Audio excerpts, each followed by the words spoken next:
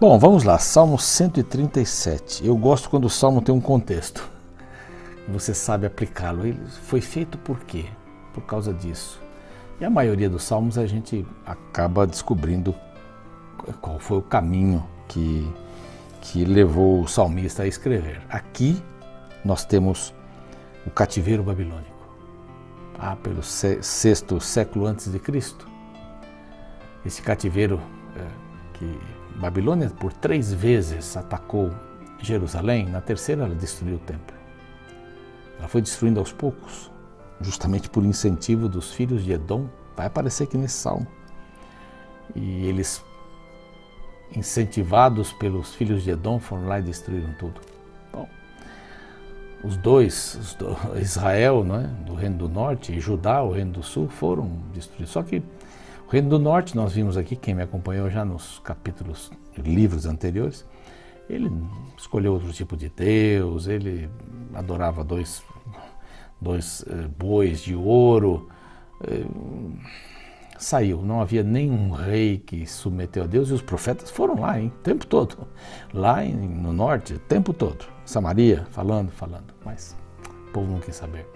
Este salmo então fala desta, desta queda de Jerusalém de, de levarem os babilônicos uma boa parte do povo de Jerusalém para a Babilônia. E aqui eles contam a tristeza de estarem longe de casa. A tristeza de estarem longe de casa. E um dos versos aqui, é, quatro, diz assim: Como, porém, haveríamos de entoar o canto do Senhor em terra estranha? Aqui vem dizendo que fora é mais difícil, eu não acompanho muito futebol, eu brinco muito com um time aí, mas não, não sou aficionado, nem sei a escalação do meu time. Mas uh, a gente percebe que os melhores times, os que vencem os campeonatos, ou de futebol, ou de qualquer, são aqueles que fora de casa ganham. Pode ver, os times que só ganham em casa não, não chegam a muito longe na tabela, muito para cima da tabela. Mas os que, ganham, os que ganham fora de casa dizem que é mais fácil ganhar dentro de casa e fora. É complicado. Eu conheço muita gente que vai para o exterior e lá se perde. Arruma outra família. Conheci uma pessoa que tinha uma família lá e uma família no Brasil. Então, se perdem. Então as grandes vitórias da vida são conseguidas fora. Porque no conforto, na tranquilidade, quando as coisas estão harmônicas, ah, tudo bem, eu me, eu me conformo. Mas quando eu enfrento as realidades do dia a dia, eu posso me corromper. Posso me corromper. Posso trabalhar num departamento comercial e, e levar dinheiro para mim. Comprar de alguém que me paga para eu comprar. Sendo que a minha empresa paga para eu comprar o mais barato. É incrível, né? Fora é complicado. Ficar dentro da igreja é uma maravilha. Você vai no culto, aos sábados, ou o dia que você guarda aí, vai na, na, na sua igreja. É fácil. Colocou a roupa, entrou lá, faz cara de crente, que está prestando atenção, de cristão, e vai embora para casa. Ali é uma maravilha ser cristão. Não é assim, é a minha casa, mas é o dia a dia, o dia a dia que é complicado. É, a diferença entre os times bons e, e ruins são aqueles que vencem fora de casa. Fora de casa que está a batalha. Dentro da igreja é tranquilo, mas fora das portas da igreja está, está a nossa batalha. A igreja é um lugar para celebração. É claro que a gente ouve um sermão, se anima, mas é um lugar para celebração. O que eu fiz durante a semana fora, na batalha, eu vou celebrar lá. O que Deus me ajudou a fazer durante essa semana. Hum, é complicado, né? Mas aqui vem essa questão: às margens do rio da Babilônia nos assentávamos e chorávamos. Agora, três vezes aparece o verbo lembrar aqui. A primeira vez é no verso primeiro mesmo, lembrando-nos de Sião.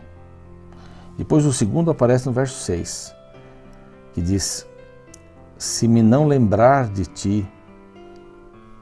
E o terceiro vem no verso 7, com os filhos de Edom, né? lembra-te, Senhor, do dia de Jerusalém.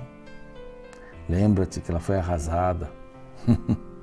três vezes. Lembra, lembra, lembra.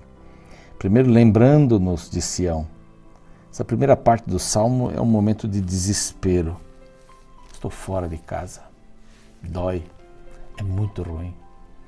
É muito ruim estar com pessoas que eu não gostaria de estar. Eu estou longe da minha pátria, uma língua estranha, uma língua diferente. Desespero. Depois vem o menosprezo, pois aqueles que nos levaram cativos nos pedem canções e os nossos opressores que fôssemos alegres, dizendo: Entoai-nos alguns cânticos de Sião. Então os opressores zombam. Canta aí um pouco essas músicas que vocês cantavam lá. Vocês são um povo que cantam muito, canta muito. Cantem aí umas músicas pra gente. Vamos lá, cante. É difícil cantar quando a gente está com uma dificuldade. Eu li um livro, um livro que fala sobre os salmos, inclusive esse salmo aqui.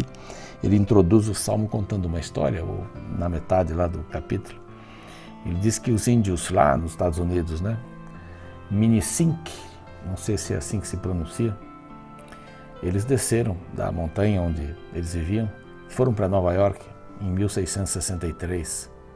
Quer dizer, logo depois que os peregrinos chegaram, né, vieram lá da Inglaterra para Nova Inglaterra, aquela região da costa é, leste dos Estados Unidos, lá em cima, Nova York. Então, é, os índios desceram e dizimaram em vários brancos, vários brancos. Estavam começando, chegaram em 1618, né? Ali por Massachusetts, aquela região, Nova Inglaterra. E agora estavam com problemas sérios com os índios. E eles levaram cativos, vários, por dez semanas, Catarina de Bois, que era uma cristã, junto com a sua filha e outros parentes, outros amigos. Por dez semanas eles estavam ali, nas matas, e um grupo de busca foi ali ao encontro deles, mas não encontravam. E um dia eles decidiram, os índios, né? Bom, eles vão vir aqui, então vamos matar todos. E começaram a queimar as pessoas, começaram a preparar né, as fogueiras. E prepararam a fogueira de Catarina de Bois, de sua filha. E seu marido estava lá procurando, nas matas. E em vez dela, naquele momento, é, praguejar, dizer vocês, assassinos, seus índios e tal, ela começou a cantar o Salmo 137. Exatamente esse salmo. Estamos longe, estamos chorando, mas o Senhor vai nos sustentar. O Senhor vai nos sustentar. Ele lembra de nós. E cantavam. Ela e sua filha cantaram, cantaram, cantaram. E quando elas terminaram de cantar o Salmo 137, os índios disseram: cante mais. E elas cantaram, não sei quantos hinos ali. Finalmente, aqueles que estavam procurando ouviram os cânticos, foram lá e resgataram a esta família. Quando eu estava em Angola também, nós tínhamos um, um inário em Umbundo, que é uma das línguas nacionais, e a gente cantava. Eu não entendia uma palavra, mas cantava, sabia porque era uma tradução de, das nossas músicas. Mas eu não entendia o que estava cantando e cantava. E eles vinham ouvir. Por que vocês cantam tanto? Perguntou um dia o capitão, lá do campo de prisioneiros. Eu disse, capitão, é porque, com todo respeito, vocês tiraram tudo que a gente tinha mas não tiraram alguma coisa que estava aqui. Cante, cante quando não há motivo para cantar. Paulo, Paulo cantou lá no cárcere em Filipe, Filipe. Cantou, cantava, louvor, louvores. Cante quando não há motivos para cantar. Cante quando os outros estão zombando da sua vida, os opressores. Tem um cântico no coração.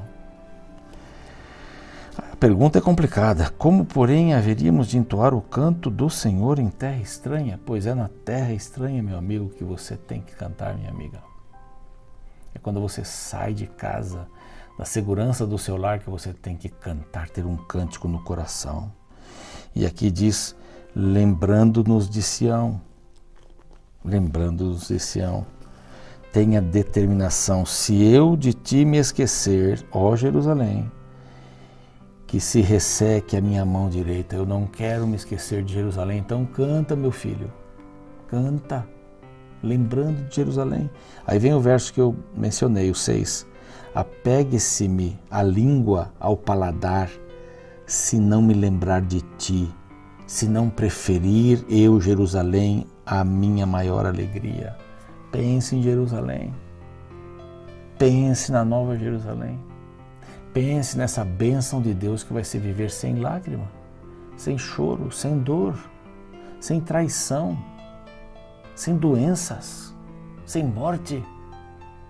Pense em Sião e cante. O dia está difícil hoje? Perdeu alguém? Perdeu um trabalho? Perdeu a segurança? Está com muita ansiedade amanhã? Como é que vai ser depois dessa pandemia? Eu também tenho isso. Cante, cante ao Senhor. Eu confesso que aqui em casa nós cantamos pouco. A gente gosta de ouvir músicas. Minha esposa canta mais do que eu. Ela tem sempre um cântico no coração. Minha esposa acorda feliz. Todo dia.